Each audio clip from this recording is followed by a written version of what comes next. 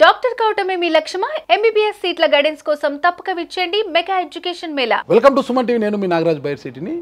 ఏపీలో కొత్త ప్రభుత్వం కొలువు తీరి ఆగస్టు పంతొమ్మిదికి రెండు నెలలు పూర్తి కావాల్సింది ముఖ్యంగా రాష్ట్ర ఉప ముఖ్యమంత్రి పంచాయతీ రాజ్ గ్రామీణాభివృద్ధి అటవీ శాఖ మంత్రిగా బాధ్యతలు చేపట్టిన పవన్ కళ్యాణ్ కూడా రెండు నెలల పదవి పూర్తి కాబోతుంది. అంటే ఈ రెండు నెలల కాలంలో పవన్ గారు తీసుకొచ్చిన కొత్త కొత్త సంస్కరణలు ఏంటి? తన శాఖలపై ఎలా పట్టు పెంచుకున్నారు? తన రాజకీయ విధానాలను ఎలా ముందుకు తీసుకెళ్తున్నారు అన్న వివరాలు తెలుసుకోవడానికి ఈరోజు మనతో ఉన్నారు పొలిటికల్ అనలిస్ట్ చంద్ర శ్రీనివాస్ గారు. నమస్తే చంద్ర శ్రీనివాస్ గారు. నమస్కారం నాగరాజ్ గారు. పవన్ కళ్యాణ్ గారు జూన్ పంతొమ్మిదిగా రాష్ట్ర ఉప ముఖ్యమంత్రిగా మంత్రిగా ఆయన బాధ్యతలు చేపట్టడం జరిగింది అంటే ఆగస్టు పంతొమ్మిదితో రెండు నెలల తన పదవి కాలం పూర్తి కాబోతుంది అనమాట అంటే ఎలా చూడొచ్చు ఈ జర్నీని అతను తీసుకొచ్చి అంటే పంచాయతీరాజ్ విధానంలో కొత్త సంస్కరణలు తీసుకొస్తున్నారు. గతంలో మైనర్ పంచాయతీలకు వంద మేజర్ పంచాయతీలకు రెండు వందల యాభై రూపాయలు నిధులు ఇచ్చేవాళ్ళనమాట. ఈ దానికి స్వతంత్ర దినోత్సవ పండుగలకు కావచ్చు రిపబ్లిక్ డే గణతంత్ర దినోత్సవ పండుగ కావచ్చు చాలా తక్కువగా ఇచ్చేవాళ్ళంట. కానీ ఇప్పుడు వచ్చి రాగానే పవన్ కళ్యాణ్ గారు పదివేలు ఇరవై ఐదు వేల రూపాయలు ఇవ్వడము ముఖ్యంగా అటవీ శాఖ పైన ప్రత్యేక దృష్టి పెట్టము నెల్లూరు కూడా వెళ్ళి శ్రీహరికోటలో అక్కడ సందర్శి ఎలా జరుగుతున్నాయి? అక్కడ మొత్తం కూడా ప్రయోగాలన్నీ కూడా చూసి రావడము. నిన్న కాకినాడలో ఫ్లాగ్ హాస్టింగ్ సమయంలో కూడా పవన్ కళ్యాణ్ గారు తీసుకుని ఇవన్నీ చూసామన్నమాట సరే ఎలా చూడొచ్చు మొత్తం ఓవరాల్గా రెండు నెలల జర్నీని? అంటే గొప్ప రాజకీయ నాయకుడు పవన్ కళ్యాణ్ కనపడుతున్నాడు. ఎటువంటి అనుభవం లేదు నిన్నటిదాకా ఎమ్మెల్యే కాల. ఓకే. ఏకంగా డిప్యూటీ సీఎం అయిపోయాడు.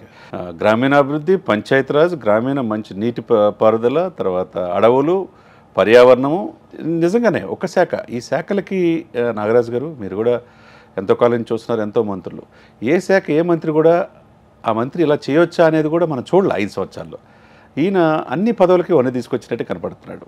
ఏది కూడా కక్షపూత వాతావరణం ఏం కనపడట్లా. రెండు నెలలు మీరు అన్నట్టు ఎల్లుండికి టూ మంత్స్ ఈ ప్రభుత్వం వచ్చి తనకిచ్చిన బాధ్యతని రోజు పదిహేను గంటలు రివ్యూ చేస్తున్నాడు. ఏది కూడా రివ్యూ చేయిందే సంతకం పెడతలా. అట్లా పంచాయతీలకి మీరు అన్నట్టు ఫస్ట్ పాయింట్. ఎప్పుడు లేని విధంగా. స్వతంత్రం వచ్చిన తర్వాత పంచాయతీలకు వంద రూపాయలు అంటే గ్రామ పంచాయతీలకి. కూడా. బ్లీచింగ్ పౌడర్ కూడా మేజర్ పంచాయతీలకేమో రెండు వందల యాభై రూపాయలు. అంటే పంచాయతీలు వంద రూపాయల నుంచి పదివేలకి తీసుకొచ్చాడు. మేజర్ గ్రామ పంచాయతీలు పాతిక వేలు పెంచడం. అంటే అంటే చాక్లెట్ ప్యాకెట్ కూడా రాదు సార్ ఆ వంద రూపాయలకి. ఆ- విధంగా ఒక సిస్టమేటిక్గా తీసుకొచ్చిన తీరు ఏదైతే ఉన్నదో నిజంగా స్వాతంత్రం మనం స్వాతంత్ర ఫలాలు అనుభవిస్తే డెబ్బై ఎనిమిది స్వాతంత్ర దినోత్సవం మనం పదిహేనో తారీఖు జరుపుకున్నాం. ఆ, ఎంతోమంది తేగదనులు ఉరికమ్మని ముద్దడితే దేశం కోసం బ్రిటిష్ వాళ్ళ చేతిలో చనిపోతే తప్పితే మనకు రాల. ఆ స్వాతంత్రాలు గ్రామస్థాయిలో స్వాతంత్ర దినోత్సవ వేడుకలు ఆ జెండా ఆవిష్కరణలు కూడా హ్యాపీగా చేసుకోకపోతే ఎట్లా? ఫస్ట్ టైం అది ఒక మంచి నూతన వరవడికి శ్రీకారం చుట్టడం అదేవిధంగా పని దినాలు ఎక్కువగా చేసుకోవటం.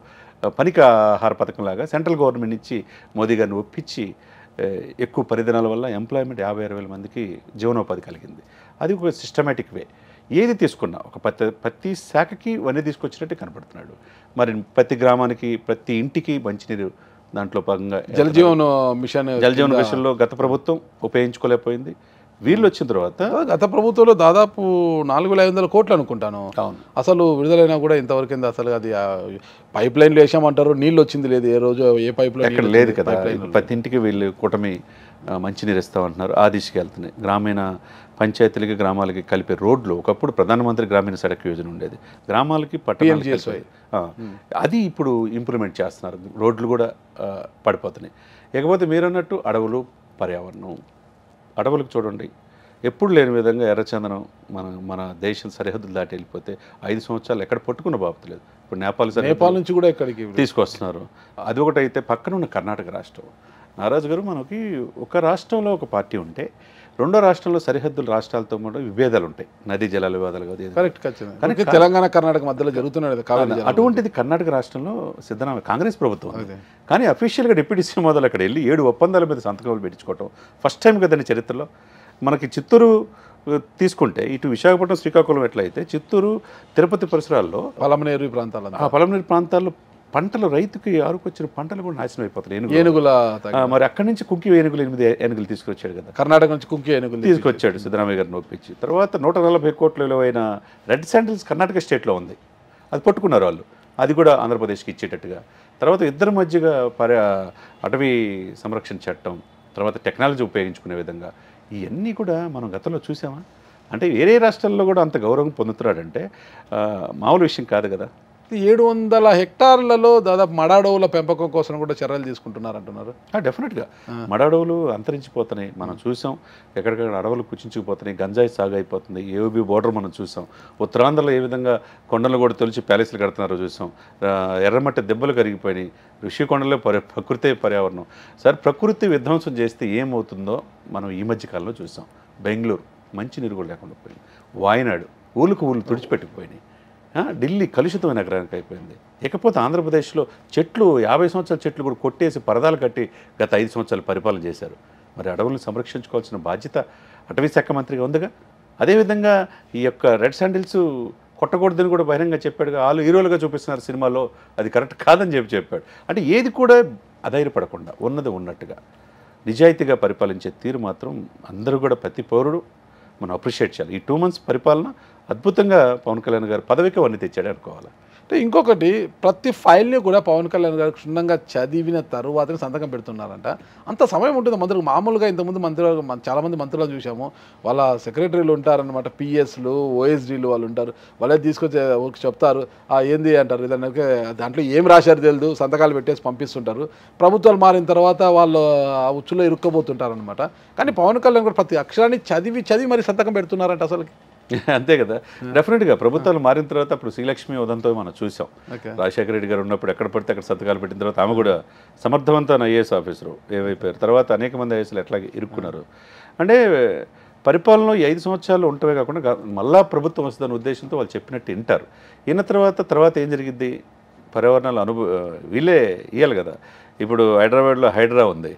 మొత్తం ఎక్కడికక్కడ చెరువులు కుంటలు నాలాల మీద కట్టి లక్షల కోట్ల విలువ చేస్తూ ఆస్తులు ఆక్రమించుకున్నారు. అవన్నీ కూడా కొట్టేస్తున్నారు రంగనాథ్ గారు కమిషనర్గా ఫ్రీ హ్యాండ్ టు సీఎం గారు. ఇచ్చిన తర్వాత గతంలో పర్మిషన్స్ ఇచ్చిన వాళ్ళందరికీ శిక్షార్హులేగా దీంట్లో? ఎట్లా ఇస్తారు డబ్బుల కోసం తీసుకొని ఇస్తారు. అలా కాకుండా ప్రతి ఫైలు ఆయన చదువుకుంది ఇంటరే సార్ కానీ సమాజాన్ని చదివాడు. ప్రతి ఫైలు క్షుణ్ణంగా పరిశీలించిందే సంతకం పెడతల్లో ఆఫీసర్లు కూడా అప్రిషియేట్ చేస్తున్నారు. నిజంగా గతంలో మీరు అన్నట్టు పిఏ పిహెచ్డి ఓఎస్డీ ఒక స్టెప్ బై చేసి సార్ అంతా ఫైల్ పుట్టప్ అయింది సార్ సంతకం పెట్టండి ఇక్కడ పెట్టండి అంటే పెట్టేసేస్తారు. ఫైల్ ఏముందో కూడా చూసుకునే పరిస్థితి కూడా ఆ టైము లేదు ఆ ఆలోచన కూడా లేదు. ఇప్పుడు ప్రతి ఫైల్ పదిహేను గంటల రివ్యూ అంటే మామూలు విషయం అండి. ఏ శాఖ తీసుకున్నా? గ్రామీణాభివృద్ధి తీసుకున్న పంచాయతీ అందుకనే మీరు అన్నట్టు మడరూరులతో పాటు పది లక్షల మొక్కలు నాటే కార్యక్రమం ఆ బృహత్తర బాధ్యత కూడా పవన్ కళ్యాణ్ గారికే సీఎం గారు చెప్పారంటే ఆయనకి బేసిక్గా మొక్కలంటే ఇష్టం. మొక్కలతో ఎక్కువ మాట్లాడతాడు. పర్యావరణం ఆవులు పర్యావరణాన్ని ఏ విధంగా సంరక్షించుకోవాలని తన ఇష్టమైన శాఖలు తీసుకున్నాడు. దానికి జనం మెచ్చే విధంగా ఈరోజు పరిపాలిస్తున్నారు. ఇకపోతే సైన్స్ అండ్ టెక్నాలజీ మినిస్టర్గా మనం ఎప్పుడైనా ఊహించామా? నెల్లూరులో ఎక్కువ కాలం ఉన్నానన్నాడు. తన చిన్నప్పుడు శ్రీహరికోట పోతా ఉంటే అక్కడ దాకా వెళ్తామని చెప్పి చాలామంది అనుకున్నారు. చివరికి ఆ గేటు మా గేటు టచ్ చేసి వచ్చాను. నలభై సంవత్సరాలు పట్టింది నాకు. నేను అనుకోలే ఉప ముఖ్యమంత్రి హోదాలో. అంటే సంకల్పం బలంగా ఉంటే ఒక డిప్యూటీ సీఎంగా అక్కడున్న కలెక్టర్ ఐఏఎస్ ఐపీఎస్లు స్వాగతం పలికి. సంకల్పం గొప్పవైతే లక్ష్యం లక్ష్యం చాలా చిన్నదైనట్టుగా శాస్త్రవేత్తల్ని తప్పట్లు మనకు కాదు క్లాప్స్ నాకు కాదు హీరోగా వాళ్ళకు కొట్టాలా ఈ దేశం కోసం? ప్రపంచంలోని అంతరిక్ష రంగంలో భారతదేశం అగ్రభాగాన్ని తీసుకొచ్చిన సైంటిస్టులు కొట్టాలని ఆ రోజు తన కూతురును కూడా తీసుకెళ్ళి ఆ, రోజు మాట్లాడిన తీరు చూస్తే అంటే ఏది తీసుకున్నా చాలా క్లీన్ క్లియర్గా ఉంది. పరిపాలన మీరన్నట్టు రేపు ఎల్లుండి కల్లా రెండు నెలలు పూర్తయి కూటమిలో ఉప ముఖ్యమంత్రిగా ఉప ముఖ్యమంత్రి నేను ఇప్పటికీ అనుకోవట్లే మొన్న కూడా మీ ఇంటర్వ్యూలో చెప్పా సహ ముఖ్యమంత్రిగా ఆయన తీసుకున్న ప్రతి స్టెప్ కూడా ప్రజలు హర్షిస్తున్నారు భవిష్యత్తు అంతా పవందే అన్న రీతిలో ఆయన రాజకీయ శక్తిగా ఎదుగుతున్నాడని కూడా అంటున్నారు అసలుకి అసలు డెఫినెట్గా కదండి ఇప్పుడు మచ్చలేని నాయకుడు. రోజు సినిమా తీస్తే రెండు కోట్లు మనం ఎప్పుడు మాడుకుంటాం సంవత్సరం వెయ్యి కోట్లు ఆదాం ఇవన్నీ నాకు వద్దు బాబు అని చెప్పి మూడు సినిమాలు లైన్లో ఉన్నాయి. అవన్నీ ఏమొద్దని పక్కన పెట్టి సమయం వచ్చినప్పుడు తీస్తానని చెప్పి ఈ రోజున తన బిడ్డల డిపాజిట్లు. మళ్ళా మళ్ళా చెప్తున్నా సార్ బిడ్డల డిపాజిట్లు చేసిన డబ్బులు కూడా తీసి ముప్పై నాలుగు కోట్ల రూపాయలు ఐదు వేల మంది కౌలు రైతులకు ఇవ్వటం ఏంటంటే చరిత్రలో ఏ నాయకుడు కూడా ఈ దేశంలో చేయలేదు సార్. అటువంటి సహాయం చేసే గుణం తన దగ్గర డబ్బులో కొంత సమాజాన్ని చేయాలనే ఆలోచన ఉన్న వ్యక్తి రాజకీయాల్లో వస్తే ఇంకా ఎక్కువ చేయొచ్చని ఈరోజు దశాబ్దం పైన అనేక మాటలని రాజకీయాల్లో ఉన్నాడు. ఎక్కడ కూడా చూడండి ఆయన విమర్శించిన వాళ్ళందరూ కూడా దేవుడు గొప్పవాడు అన్నట్టు వాళ్ళ ఇంటికి పరిమితం అయిపోయారు. అసెంబ్లీ గేటు కూడా తాటలేదు. కానీ ఈయన ప్రజల్లోకి వెళ్తున్నాడు. ప్రజల కోసమే పాటుపడుతున్నాడు. ఎక్కడ కక్షపూరిత వాతావరణం ఈ నోటి నుంచి ఈ రోజు వరకు కూడా లేదంటే మనం ఎంత సుపరిపాలన అంటే అందిస్తారో కక్షపూరిత వాతావరణం లేదు అతను ఒక శాఖలో తన ఇమేజ్ని చూయించుకుంటూ వెళ్తున్నాడు అనమాట ఒక సినిమా ఇమేజ్ ఉన్న వ్యక్తి కాకుండా రాజకీయ ఇమేజ్ని కూడా పెంచుకుంటూ పోతున్నాడు. ఇలాంటి వ్యక్తి రెండు నెలలు అయిపోయింది. అంటే ఆరు గ్యారెంటీల మీద కావచ్చు ప్రభుత్వం ఏం చేయలేకపోతుంది దీని మీద ప్రశ్నిస్తా ప్రశ్నిస్తా అన్న పవన్ కళ్యాణ్ గారు ప్రశ్నించలేకపోతున్నారు అనేది వైసీపీ వాళ్ళు అప్పుడే ఆరోపిస్తున్నారు కదా. ఇప్పుడు ఐదు సంవత్సరాలు వాళ్ళు చూశారు సార్ ఆంధ్రప్రదేశ్ ప్రజలు నాలుగు కోట్ల మంది. సంక్షేమ మాటను బటన్ నొక్కాం ఇచ్చేసామన్నారు. సంక్షేమ మాటను బటన్ నొక్కారు. ఎవరు డబ్బులు నొక్కారు? ప్రజల డబ్బే. ప్రజల మీద పన్ను జిఎస్టీ వచ్చిన డబ్బే. సంక్షేమ మాటను అభివృద్ధి మర్చారు. అందుకనే పోలవరం పూర్తి చేయలేపారు. జాబ్ క్యాలెండర్ లేదు. అమరావతి రాజధాని లేదు. మూడు రాజధానులు అన్నారు. ప్రకృతి విధ్వంసానికి గురి చేశారు. రోడ్లు లేవు. చెట్లు కూడగొట్టాడు పర్యావరణాన్ని విఘాత విఘాతం కలిగించారు. మద్యం ఏర్లై పారుతుంది. ఇవన్నీ ఎవరు చేసింది? ఐదు సంవత్సరాలు వాళ్ళు చేసినాయే. రెండు నెలలు కూడా ఆకముందే నాగరాజు గారు రాష్ట్రపతి పరిపాలన పెట్టమంటే ఏముంది సార్? రాష్ట్రపతి పాలన ఎలా పెడతారు సార్ నాగరాజు? తెరవండి పవన్ కళ్యాణ్ గారు. మాట్లాడండి ప్రశ్నిస్తానన్నారు కదా అనేసి ఒకే ఒకే వాళ్ళు ప్రశ్నల వర్షం కురిపిస్తున్నారు సార్ ఇక్కడ. నోరు తెరవాల్సింది ఎవరు?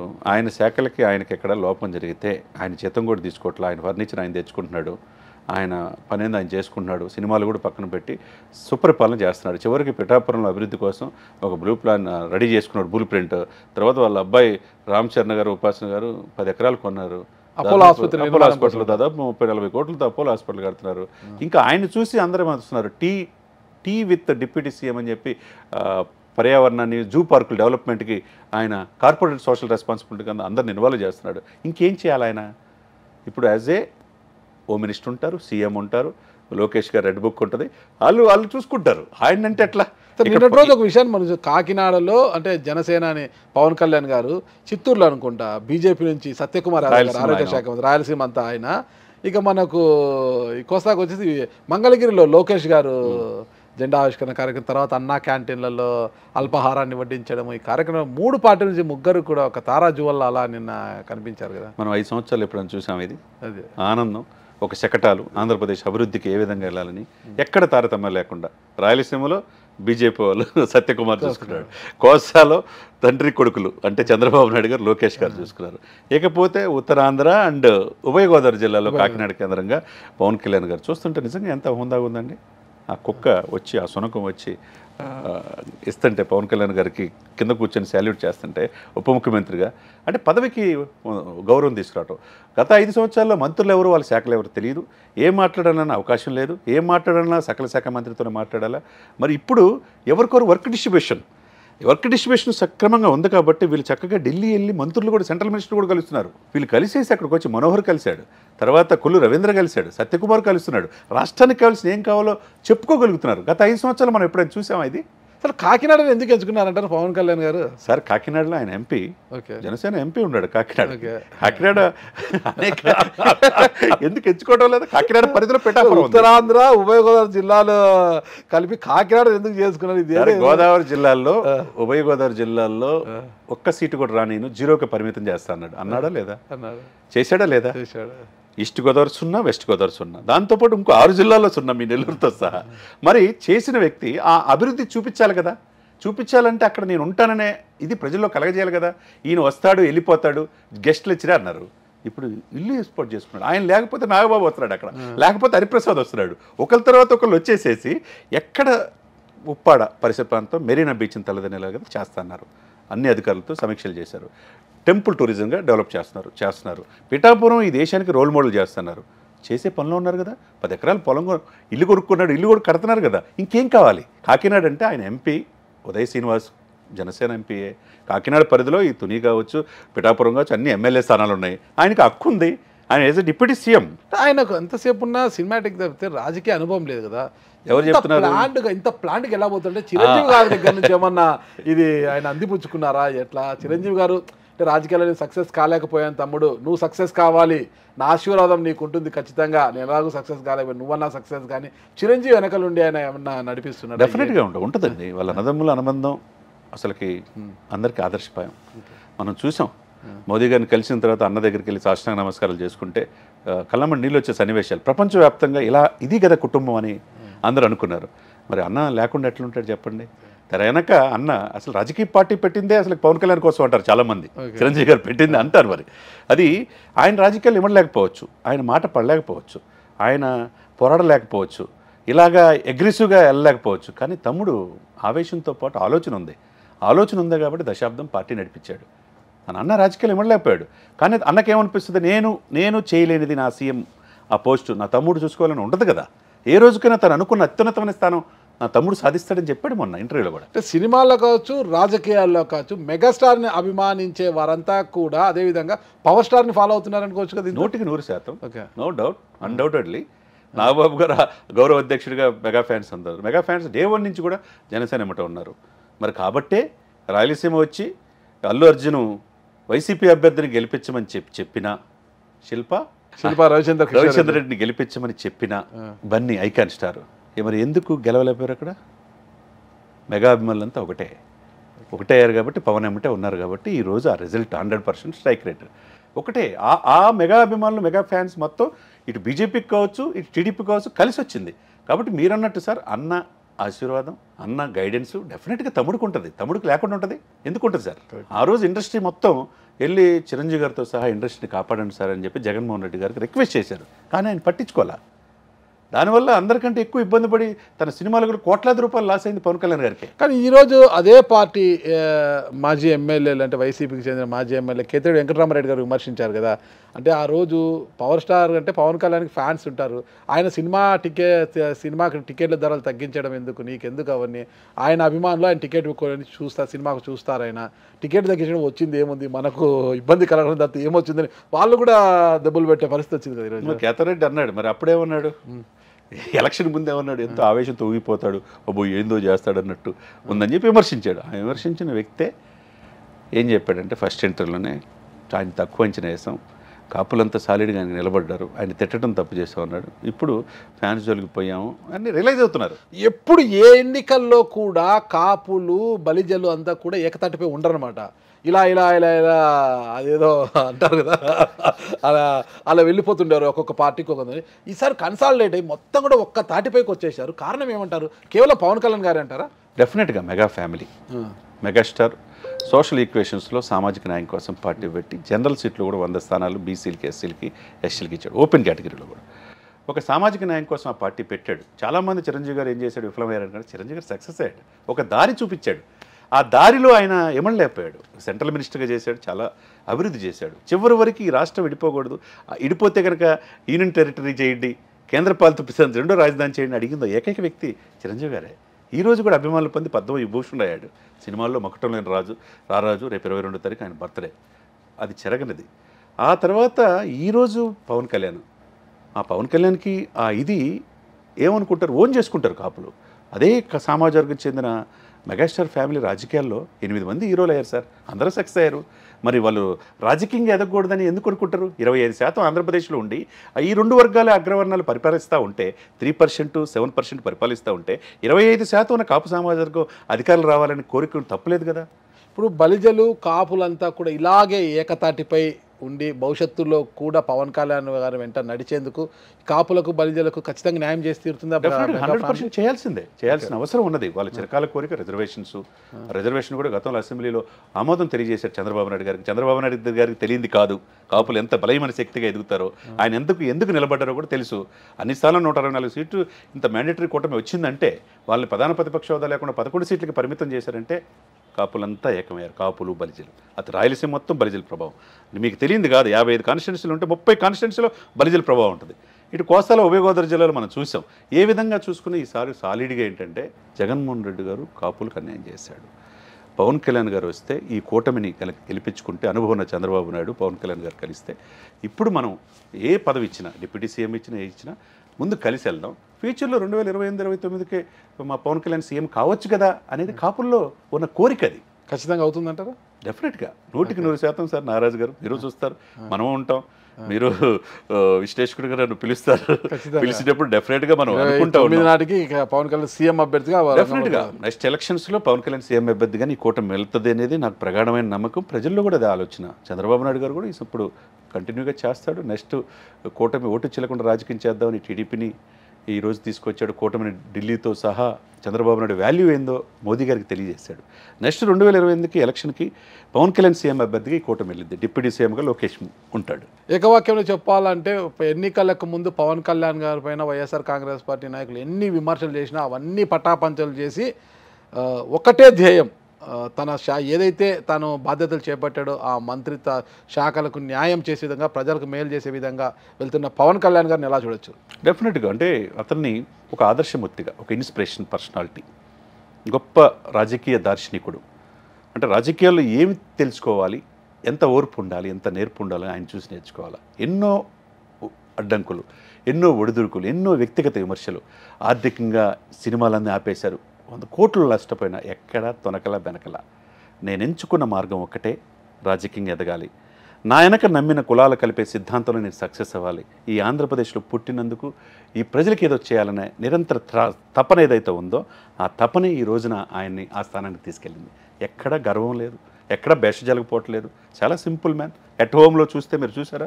అటు చీఫ్ జస్టిస్కి ఇటు గవర్నర్ గారు చాలా అద్భుతంగా ఒకరికొకరు లోకేష్ గారు గట్టిగా షర్మిలా గారు షర్మిలా గారు వచ్చారు. ఎంత ఇది? ఒక ఒక్క ఈ జగన్ వాతావరణం ఎప్పుడు కనిపించలేదండి రాజకీయాల్లో. ఎక్కడుంది సార్? ఎట్ హోమ్ ఏదో బొక్కుబడిగా జరిగింది కానీ పార్టీలకు అతీతంగా ఒక వేదిక. రాజకీయాలు అంటే ఏంటంటే ఎలక్షన్ వరకే. తర్వాత విమర్శ ప్రతి విమర్శ అనేది మామూలు. రాజశేఖర రెడ్డి గారి పీరియడ్లో కొంత హ్యాపీగా గడిచేది ఆ, అప్పుడు చంద్రబాబు రాజకీయాల వరకు రాజకీయాలు పర్సనల్గా వస్తే చంద్రబాబు గారు రాజశేఖర రెడ్డి గారు చాలా సఖ్యతగానే ఉండేవారు. కక్ష సాధింపు లేదు. ఒక-.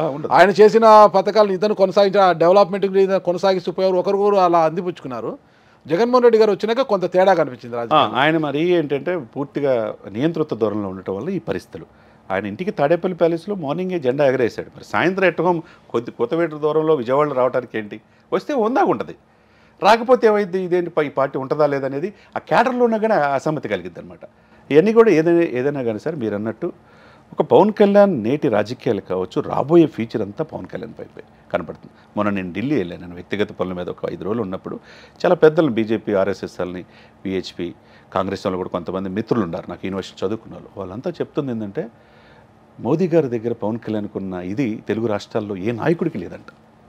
నేను ఆశ్చర్యపోయాను. నేను ఒక తెలుగు వాళ్ళగా మనం గర్వపడాలి. ఇదే ఛానల్లో రెండు సంవత్సరాల నుంచి పవన్ కళ్యాణ్ గొప్పతనం పవన్ కళ్యాణ్ ఎలా ఎమర్జ్ అవుతారో చెప్తా ఉంటే చాలామంది విమర్శించేవారు నన్ను కూడా. కానీ వాళ్ళు చెప్తుంటే ఆశ్చర్యం వేస్తుంది. ఎందుకంటే ఏ రోజు కూడా తన వ్యక్తిగత పనులకు వెళ్ళడం. చూడండి రాష్ట్రానికి ఏం కావాలో అదే తప్పితే ఈ దేశానికి మోదీ గారు కావాలనుకున్నాడు హ్యాట్రిక్ పీఎం కావాలనుకున్నాడు. ఆ దిశగా పొత్తులో టీడీపీని కలపగలిగాడు. ఈరోజు దేశానికి ఒక ఆదర్శవంతమైన ప్రధానమంత్రి తీసుకురావడంలో నా పక్కన పవన్ ఉన్నాడని కాకుండా తుఫాన్ పవన్ అన్నాడంటే ఇంకేం కావాలి సార్ ఆయనకి? ఆయనకి ఎందుకంటే వాళ్ళ అన్నదమ్ములు ఇద్దరిని కూడా మనం ఆ రోజు ప్రమాణ స్వీకారంలో కూడా చేతులు ఎత్తిన తీరు చూస్తే ఎంత గొప్ప ఇది ఉంది ఖచ్చితంగా పవన్ కళ్యాణ్ గారు కక్ష సాధింపులు ఇవన్నీ పక్కన పెట్టి రాష్ట్ర అభివృద్ధి ధ్యేయంగా రాజకీయాలు ఇదే ఒరవడిని చూపుతూ ముందుకు దూసుకెళ్తారనేసి ఒక మార్కును ఏపీ రాజకీయాల్లో ఒక మార్కును తనదైన శైలిలో క్రియేట్ చేస్తారని ఆశిద్దామండి. థ్యాంక్ యూ శ్రీనివాస్ గారు నమస్తే. థ్యాంక్ యూ నరేష్ గారు.